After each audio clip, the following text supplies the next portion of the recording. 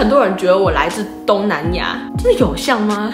嗯，但我前几天的时候得知到一个讯息，我其实是可以去菲律宾的，因为在那个地方学英文真的无比的便宜，比起你去澳洲、美国。但是各位，今天有一个重大的消息是，只要准备十万台币就可以去欧洲玩一年。然后今天有请老教练帮我们分享一下。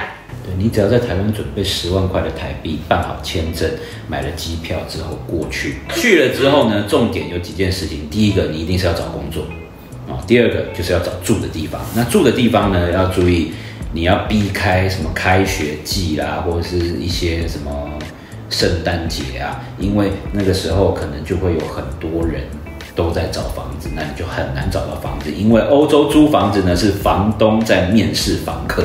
他会面试看你的工作是什么，看你相处起来好不好，不是你有钱他就租你哦，还要看你是不是 OK 的，他才会租你。嗯，那亚洲人去租呢比较麻烦，是因为中国人在当地的名声不太好，所以他们都会有点怕怕的啊。所以你要保持一个好的态度，然后有一份好的工作，基本上是没有问题的。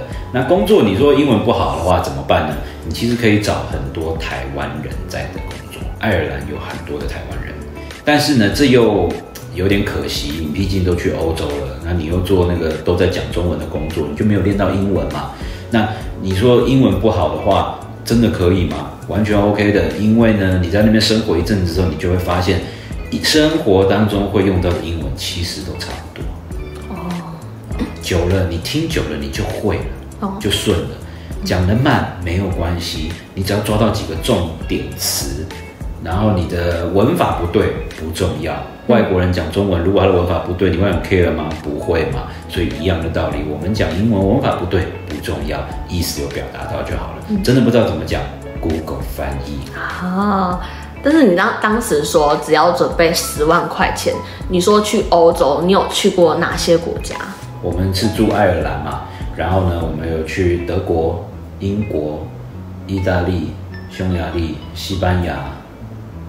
冰岛、荷兰、比利时，还有什么？一定还有啊，只是我没讲到的。所以你大部分时间是在爱尔兰工作嘛？我们工作两个礼拜，出去玩两个礼拜，赚欧元，花欧元，哇，爽爆了！哦，我们还有什么没讲到的？好像这样是不是就讲到这里了？好，接着就开始存钱。